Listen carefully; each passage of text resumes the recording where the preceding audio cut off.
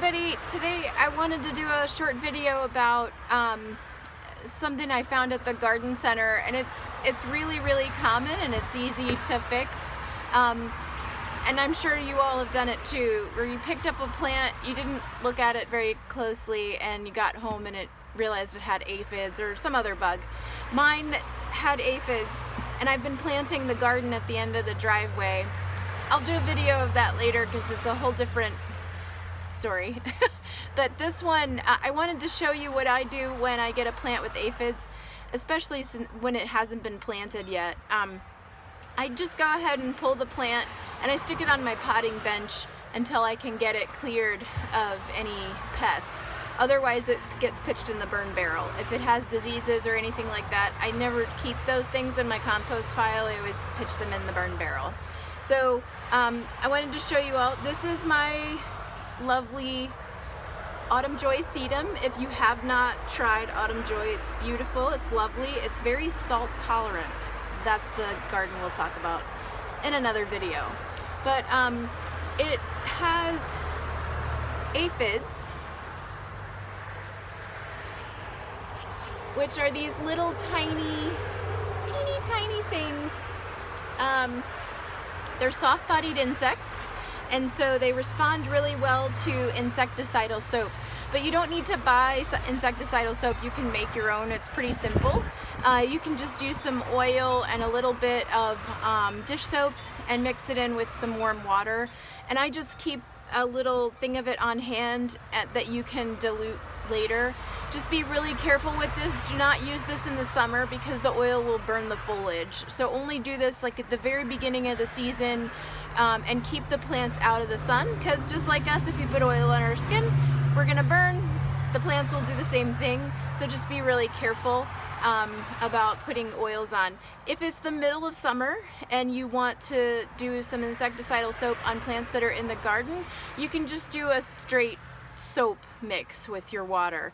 Um, that's just put a couple tablespoons of dish soap in with your warm water, shake it up a bit, and spray it down. And what it does is it gets onto the insect and um, it's a surfactant, so it kind of sticks to them and it clogs their spiracles, that's how they breathe. So there's these little holes on their sides, and that's how they take in air. So it just basically clogs them up and suffocates them to death. Um, if you don't like that option, you can also try releasing some ladybugs. Um, they do sell those online. Just look for ladybugs for sale and you can buy a you know, bag of ladybugs and they'll ship them to you.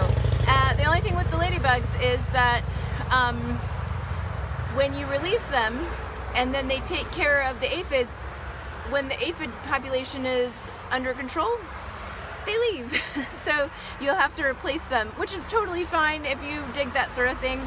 Um, my method is just as organic as that. Um, and because it's not such a huge issue, this is a very lightly infested plant actually. I plan on putting it in the garden as soon as it's done being infested. But um, if it's a really heavily infested plant, sometimes I recommend just pulling it out and replacing it and ditching that and putting it into the burn barrel. It's kind of up to you. And it's also um, sort of your tolerance to pests and problems. So um, I'm gonna go ahead and, and spray this down. I'm not gonna spray it anywhere where there's anything else because it has oil in it and I don't wanna hose everything down. Um, you also don't wanna spray on a windy day.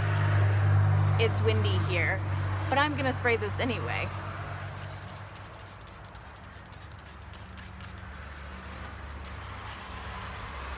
I'm still spraying.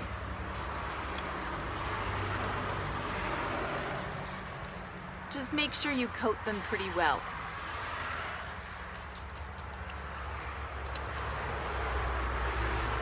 There's a little sprout in the bottom. Make sure you get under the leaves too.